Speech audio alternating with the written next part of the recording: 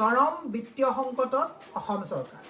বিত্তীয় সংকটত কেৱল যে অসম চৰকাৰ পৰিছে সেইটো কথা নহয়। আপুনি মই সংকটৰ ভাগিদাৰী এই কথাটো আমি বুজিব লাগিব। ঘৰে ঘৰে বিজেপি মেম্বাৰ কৰিবলৈ গৈ ফুৰিছে। আমাৰ আপত্তি নাই। বিজেপিক অত্যন্ত বেয়া পোৱা মহিলায়ো আজি তাৰিখত যোৱাকালি মই বিৰুবাৰীত যাওঁতে দুগৰাকী মানুহে ক'লে বাইদেউ কংগ্ৰেছটোক বিৰাটেই ভাল পাওঁ কিন্তু বিজেপি মেম্বাৰ হৈছোঁ আমাৰ তাত বোলে অৰুণোদয় গাড়ী এখন ল'ব।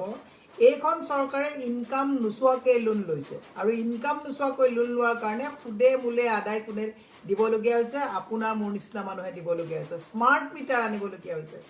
তেওঁলোকে কৰৰ ওপৰত কৰ দিবলগীয়া হৈছে। টুল টেক্স স্মাৰ্ট মিটাৰ প্ৰত্যেকটো বস্তুতে হেলমেট নিপিন্ধিলে আপোনালোকৰ ফাইন কৰিবলগীয়া হৈছে। ন' পাৰ্কিঙত ফাইন কৰিবলগীয়া হৈছে।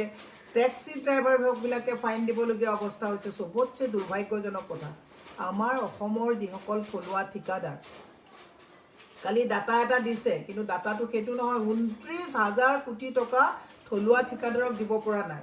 যোৱাকালি এটা খবৰ পালোঁ জে জে এমত আমাৰ যিসকল থলুৱা ঠিকাদাৰে কাম কৰি আছে কাম বন্ধ কৰিব কৈছে। তেওঁলোকে ঠিকাদাৰে আৰু পে'মেণ্ট নাপায় আত্মহত্যা কৰিব লাগিব ঠিকাদাৰসকলে। মাতৃ সমাজে বুজি পাইছেনে নাই? এই ফ্ৰী খোৱাৰ যিটো অৰ্থনৈতিক ৰোডমেপ নথকা চৰকাৰে ফ্ৰী খোৱাৰ যিটো প্ৰৱণতাত মানুহক প্ৰলোভিত কৰিছে এফালে ফ্ৰী দিয়াৰ কথা কৈছে আনফালে ধাৰত পোত গৈছে। মোৰ মাতৃ সমাজলৈ বিনম্ৰভাৱে অনুৰোধ।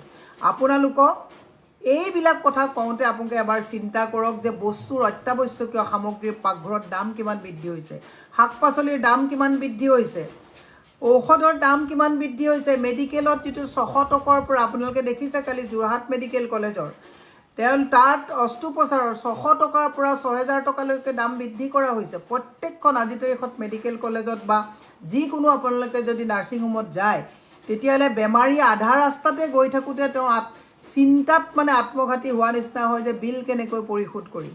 এই অৱস্থালৈ গৈ আছে। মই সেইকাৰণে হিমন্ত বিশ্ব শৰ্মাক কৈছোঁ এই হাৰিয়ানা ঝাৰখণ্ডত গৈ লম্ফজম্ফ কৰি লাভ নাই। অসম আজি ধাৰত পোত খাইছে।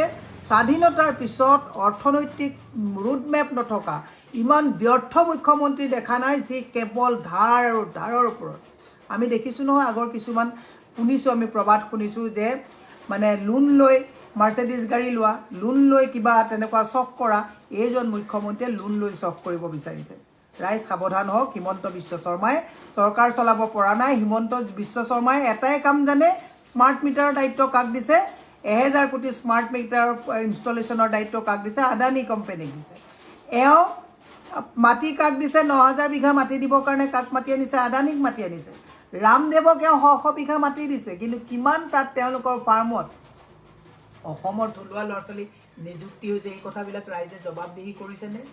এওঁলোকে কালি তেওঁ অসমীয়া দ্ৰৌপদী ভাষাটো এই ভাষাটোক তেওঁ ক্ৰেডিট ল'ব গৈছে। কিন্তু অসমীয়া মাধ্যমৰ বিদ্যালয়বিলাক বন্ধ কৰাৰ মূল খলনায়কজন কোন? মূল খলনায়কজন তেওঁৱেই। ক্ৰেডিট লোৱাত বিৰাট উস্তাদ। বিজেপি হৈছে মাৰ্কেটিঙৰ এখন চৰকাৰ। এই মাৰ্কেটিঙত সিদ্ধহস্ত। মোৰ অসমৰ ৰাইজলৈ বিনম্ৰভাৱে অনুৰোধ। ইমান বিত্তীয় সংকটত পৰিছে। দুদিনমানৰ পিছত যুৱ প্ৰজন্মই হতাশাত আত্মঘাতী কৰিবলৈ বাধ্য হ'ব। মোৰ মাতৃ সমাজলৈ বিনম্ৰভাৱে অনুৰোধ যে আপোনালোকে ফ্ৰী পোৱাৰ প্ৰৱণতাত যধে মধে হিমন্ত বিশ্ব শৰ্মাৰ এইখন জালত ভৰি নিদিবৰ কাৰণে মই আহ্বান জনাইছোঁ। গতিকে আপোনালোকক মই সদায় কৈছোঁ হিমন্ত বিশ্ব শৰ্মা হাল এৰি খেল খেদিছে আৰু এওঁ যেন বাকী আৰু ফাকীৰ সদাগৰ ধাৰ লোৱাৰ সদাগৰ ৰাইজ যদি সজাগ নহয় অসম ৰসাতলে যাবলৈ কিন্তু বেছিদিন নাই। অৰ্থনৈতিকভাৱে অসম ৰসাতলে যাব। সেইকাৰণে মোৰ অনুৰোধ যে আপোনালোকে এবাৰ হিমন্ত বিশ্ব শৰ্মাক উভতি ধৰক যে কৰৰ ওপৰত কৰ লৈ অসমখন ধাৰৰ ওপৰত ধাৰ লৈ অসমখন আৰু কিমান পিছুৱাই লৈ যাব ই এক বৃহৎ প্ৰশ্ন।